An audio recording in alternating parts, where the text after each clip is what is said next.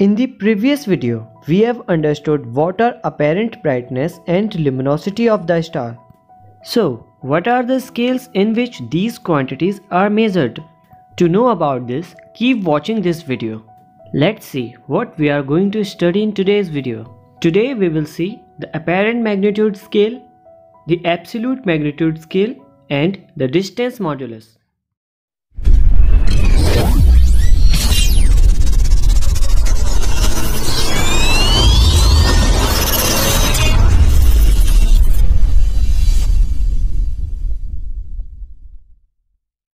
Let's start with apparent magnitude scale. The brightness of stellar objects is defined in terms of magnitudes. The apparent magnitude scale is divided into two categories, which are old magnitude scale and modern magnitude scale. In 2nd century before Christ, the Greek astronomer Hipparchus introduced the old magnitude scale. According to apparent brightness, he divided stars into six classes, or we can say apparent magnitudes. The apparent magnitude was denoted by the symbol small m. According to this, the brightest stars are assigned the first magnitude, and the faintest stars are assigned the sixth magnitude which are visible to the naked eyes. So we can see the brighter star is denoted by smaller magnitude and similarly the fainter star is denoted by higher magnitude. This magnitude scale is not a linear scale while it is a non-linear scale which means magnitude 2 star is 2.512 times dimmer than the magnitude 1 star and at the same time it is 2.512 times brighter than the magnitude 3 star. We can understand this with the help of this table. Suppose the brightness of magnitude 6 star is B.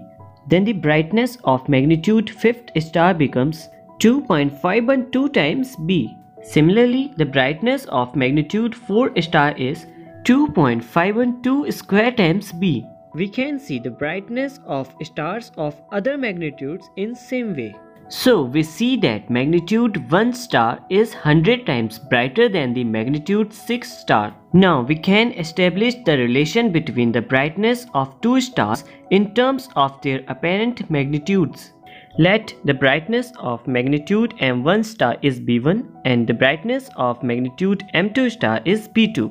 Now take the ratio of B1 and B2.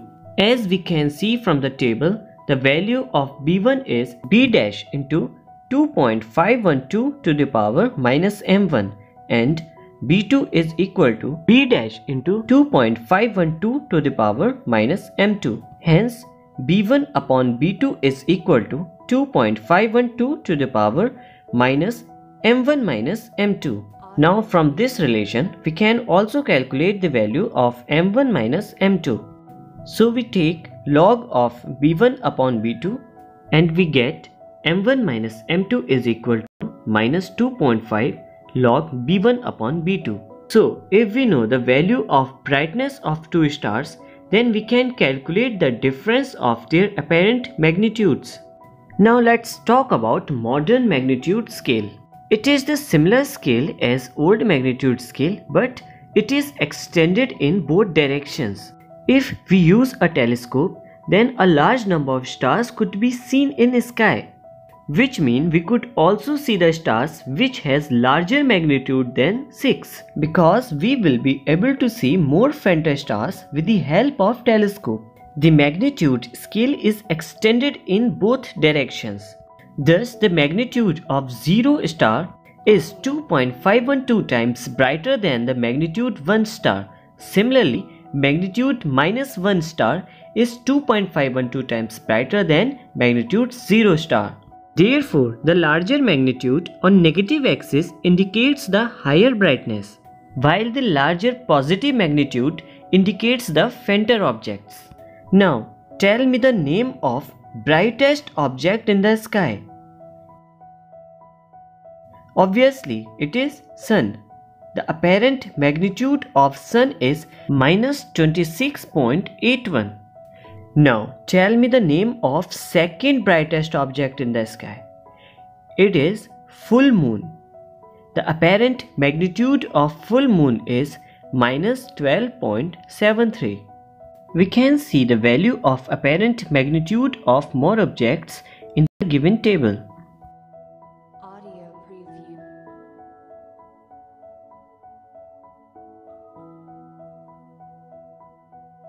Now let's discuss the absolute magnitude scale.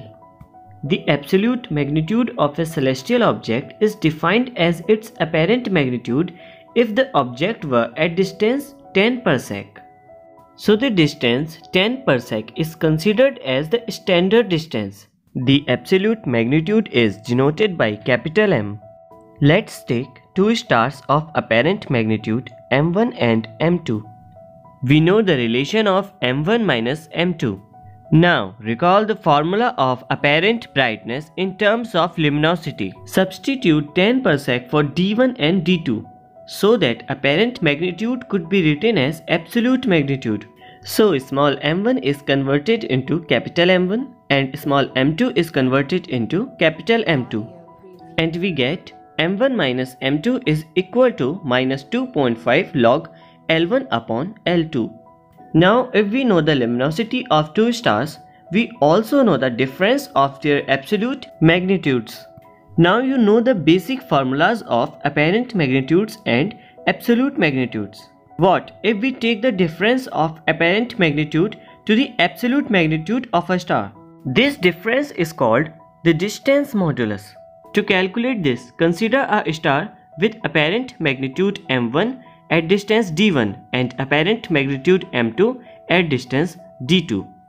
So we can write m1 minus m2 is equal to minus 2.5 log b1 upon b2. Now substitute 10 parsec for d2 so that we could replace small m2 to the absolute magnitude capital M. We can write the final relation as small m minus capital M is equal to 5 log d minus 5. The difference between apparent magnitude and absolute magnitude small m minus capital M is known as distance modulus. Now we know the all basic relations of apparent magnitude and absolute magnitude. Now let's see what we are going to study in our next video. In our next video, we will discuss the effect of temperature and size of a star on its luminosity and color of star. I hope you have enjoyed this video. Drop your comment in comment box if you have found it useful. Subscribe this channel to watch more videos like this and don't forget to share this video.